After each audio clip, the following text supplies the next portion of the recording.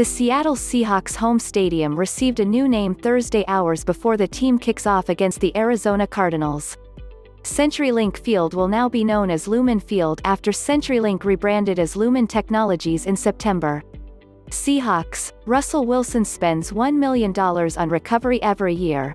I'm trying to play until I'm 45, the team said Thursday morning the new name was pending approval later Thursday by the Washington State Public Stadium Authority, which is the public corporation owner of the stadium. The Seahawks later made the official announcement. Through a shared vision and commitment to serving the Seattle community, we are proud to enter a new era of world-class sports and entertainment with Lumen Field, Chuck Arnold, the president of the Seahawks and First and Goal Inc., said in a statement. For nearly two decades, the stadium has made its mark as a premier Seattle venue, and a place for the community to experience thrilling victories, establish sacred traditions, and witness unforgettable moments together. We are excited to build upon that legacy and experience amazing things at Lumen Field for years to come.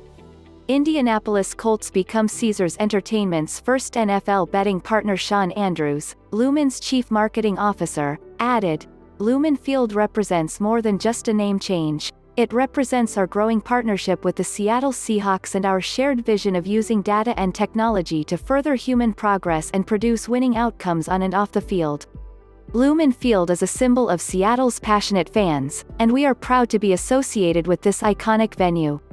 Lumen is dedicated to delivering amazing experiences for our clients, and we are committed to the success and support of the Seattle community. Ticker security last change change percent LUMNLUMENTECHNOLOGIES 9.82 minus 0.12 to 1.21 percent The stadium opened as Seahawks Stadium in 2002 and received its first corporate sponsor, Qwest, in 2004. Qwest Field became known as CenturyLink Field in 2011 after CenturyLink bought Qwest.